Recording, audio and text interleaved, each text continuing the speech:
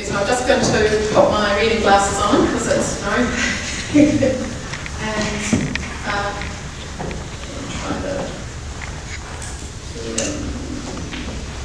So I am boring and I have got slides. um, and by the way, uh, Shanabia, um, I would really like to interview you after this, if that's okay. um, and if anybody does want to talk to me, I've got my cards on me, so, um, myself. Uh, Guzulabar, Assalamu alaikum, uh, Sat Namaste, Ni Hao. Um, voices, yes, it, we do uh, cover all our ethnic minority communities across the country, uh, which means um, that as a one-person team, um, the researcher and the journalist, and also having to cut the stories, it's a lot of work. I'm also a, um, a playwright, and um, why create a platform in our mainstream media for our very diverse cultures, faiths and people to be able to tell our, their, their stories? Um, it is actually personal for me and it starts with my family.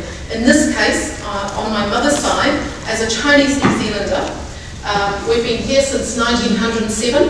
This is my Daigung, my great-grandfather's poll tax certificate. Uh, he left Canton via Vancouver and arrived here uh, in 1907. So I'm a poll tax descendant. Obviously I'm Eurasian um, because I'm tall and um, have slightly lighter skin. Um, so that yeah, also explains the Chanwai Earle. Um, so 100 pounds per head. Um, I know uh, that um, many of you will be familiar already with the poll tax history. Well, it was a buried history when I first came across it uh, back in 1995 when I was researching for my play, Ka Shue Letters Home. Uh, and forgive my Cantonese um, pronunciation. Uh, I'm a typical fourth generation New Zealand um, Chinese New Zealander and uh, I don't have very much Cantonese. Yamcha Cantonese, I say, I can get by in Yamcha. Um, so, so, I, so I started researching for my play and uh, discovered um, the history of poll tax. Um, and it was my mother who mentioned it to me, but actually it was my friend Esther Fung who explained the appalling history. And I won't, I won't bore you with this history right now, but um, suffice to say that it um, really informed my play. Gus Letters Home premiered in 1996 at Circa Theatre Wellington. Uh, fictionalised, of course, close to, but very close to the bone, um, based on my own family history, my pawpaw uh, and Gung my Chinese grandparents, and um, escaping the Sino-Japanese invasion during the Second World War, my mother uh, and my grandmother being one of the two and a half thousand women and children refugees, um, which is coming up as a, as a special um, uh, uh, special Richard Leong and Debbie Sequoia organising um, uh, a very special um, commemoration, commemoration for that.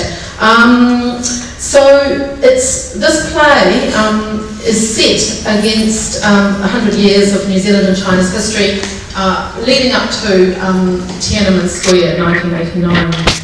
And um, it brings to mind right now um, pro-democracy protests in Hong Kong. Um, so I started off um, in theatre, and there are my plays. Foh Sarn uh, followed, that's actually Roseanne Liang on the cover, she played the key character. and she's Renee's sister and wonderfully talented woman. Um, at the time, of course, um, not enough actors around, so that's why people like Jacob Rajan and myself had to perform all five characters on, uh, on stage and make it solo. Um, this, uh, these um, plays are now um, they're published in part of NCEA uh, and taught across the country at tertiary and secondary um, uh, institutions, which is fantastic because it means um, that our message is getting across, our, our stories are getting across.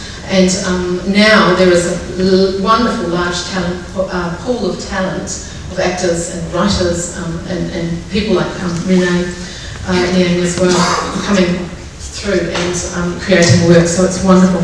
Um, Man in a Suitcase, my play um, premiered in uh, 2012. It was a collaboration with the Court Theatre Christchurch and Peking University, the um, Institute of um, World Theatre and Film. It's a fictionalised drama based on the case of Wang Yao, the Chinese student murdered in 2006 uh, by fellow Chinese students whose body was infamously dismembered and stuffed into a suitcase.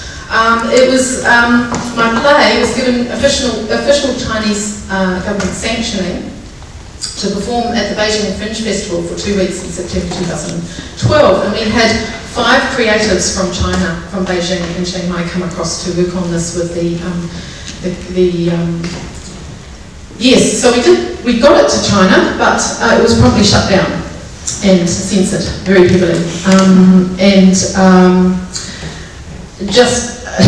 just suffice to say that I think the material was, um, so the, the, the, sanctioning was obviously rescinded by the Ministry of Culture, uh, and um, so we were not able to um, perform it with the Beijing uh, Fringe Festival. We were not able to sell tickets or talk to the press, and the press could come and see it, but they were not allowed to review it.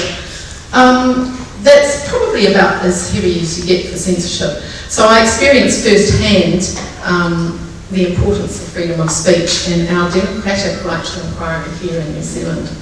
It's something that we should never take for granted. Um, and also what drives me as a journalist. Having said that though, um, uh, just on this note, um, the, here we go, free, it was free. we had three nights. Um, and uh, it was full, it was full up with mostly students from Peking University. No hard feelings. Here I am interviewing the Consul General of China, Mr. Niu Qingbao, at Kawerua Beach uh, as part of the Chinese Historical Beetle Trail Qingming 2013. And this is, um, uh, was a wonderful um, uh, opportunity as a Panyu descendant, um, a one-hour documentary that I made uh, covering this very special meeting between Chinese and Maori and uh, 110 years after the sinking of the SS Ventnor. And I know you would have heard about that in Renee Liang's play, um, The Bone Feeder, um, which I've also done stories about here we are, there's Ming Foon uh, and Kaumatua Joseph Adams. Um, it was a really, just a really beautiful um, talk about, you know, getting the communities together 110 years later.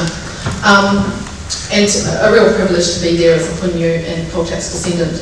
As a journalist, I've caught a huge variety of stories. Um, Dr. Sharad Paul is one of them. Um, I haven't put his photograph up here because I know you've met him already and he's spoken to you. But uh, also um, Dr. Swee Tan, um, both of these men are finalists uh, of New Zealand of the Year Awards. In my opinion, I think both of them should have won. But anyway, um, so it's good and bad for me. The, the stories cover the good and bad stuff. Um, and so here we are, Shakti Women's Refuge, Auckland. In the year 2009 to 2010, New Zealand experienced over 101,000 incidents, incidents of domestic violence. In 2011, over 44% of Shakti's cases, and there are hundreds of ethnic women each year seeking refuge, uh, also reported having experienced forced or forced underage marriage. Culturally motivated and sanctioned crime is my Voices program broadcasting this Monday, the 6th of October. Do check it out. Um, it's, it's focusing part one on forced underage marriage and will be followed by a program about FGM, female genital mutilation, as it affects women and children in New Zealand. I have extensive interviews with leaders from the Somalian community speaking out against FGM and FGM educators that are actually Somalian within, um, working within their community. Obstetricians, uh, FGM survivor, Asian liaison police officers and Inspector um, Rakesh Naidu um, from the New Zealand Police, as well as Judge Ajit Swaran Singh. So these are people that I've interviewed for this. Um, it's going to be a two-part uh, um, Voices special, but also um, in conjunction with um, Insight, our Insight program. now, this is not about stigmatising our ethnic communities. This is about celebrating them, but it's also not, it's about ownership. It's about um, embracing, and I'm just going to sweep through um, some of these um, kind of the diverse range of stories of the people that I meet, you know. Um, it's absolutely, I, I, I, count myself as really privileged. Um, so Rakesh Naidu, Inspector Rakesh Naidu said, it's not about stigmatising our communities, it's about getting our ethnic communities to speak out and actually uh, uh, empower. So working on that sort of etu or um, Proud, uh, the white ribbon campaigns, if we can do the same for our ethnic minority communities. Um, and how do we do that? We do that through the media. Um, so I'm just going to carry on and show you some more images. Here we go. Our Sergeant Gurpreet Arora, Manukau Counties Police. wonderful. So he's working, he's one of the Asian liaison police officers.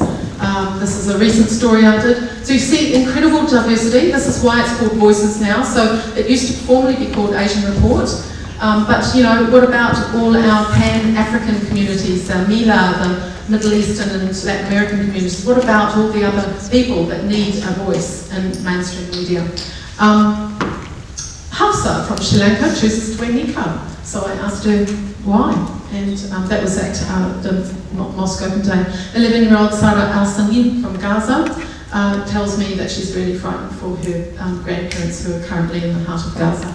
Um, and, uh, and so that's my favourite photograph by the way. This is 78-year-old um, Duncan Siu Hoi, Debbie's um, uncle, uh, interviewing me. So it's about putting you know, the power back to the people, democratising mainstream media. But look, uh, very importantly too, I did, uh, um, I have covered uh, our Muslim communities um, wanting to know um, how they feel uh, right now about events um, happening in Gaza or uh, about issues like um, the Islamic State. What are their thoughts? Um, so I have interviews um, with um, Dr. Anwar Ghani, which I would recommend you check out too. So go to the Radio New Zealand website, look under Voices. Um, one of the key things here is that radicalisation and fundamentalism only comes out of ghettoisation of communities. So this is coming back to buried histories and this is coming back to people managing stigma, ethnic groups managing stigma, and that's,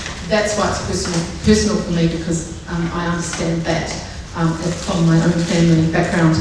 Um, mainstream media must recognise this. Currently Voices is the only non-commercial public broadcast uh, um, platform um, in New Zealand because Asia Down Under uh, no longer exists and we don't have a weekly um, voice. So that's not good enough as far as I'm concerned. Uh, let's make a change there. Thank you.